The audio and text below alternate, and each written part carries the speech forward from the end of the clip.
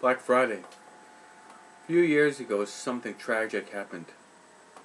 Happened on Black Friday, which means the Friday after Thanksgiving. It is what happened. Happened in New York, which the customers were waiting outside a Walmart.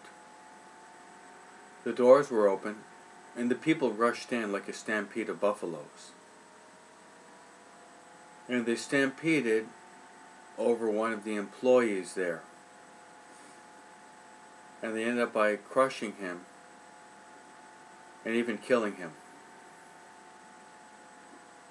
The owner of the store, as a sign of his grief and sorrow and mourning for one of his employees, decided to close down his store for the day.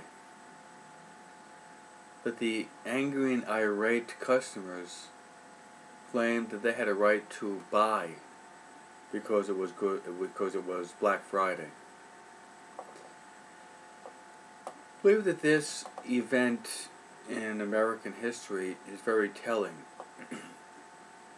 because it shows very clearly that for many people their God is materialism. Materialism means matter is the end all of, of our existence.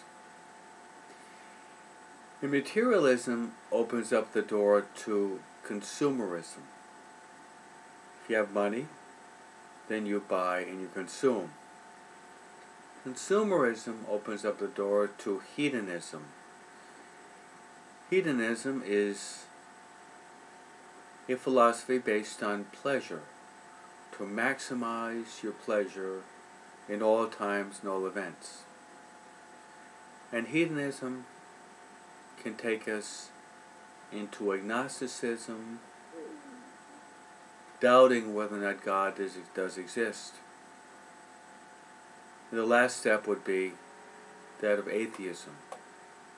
Why even accept the existence of God if I have all that I want and I need? So,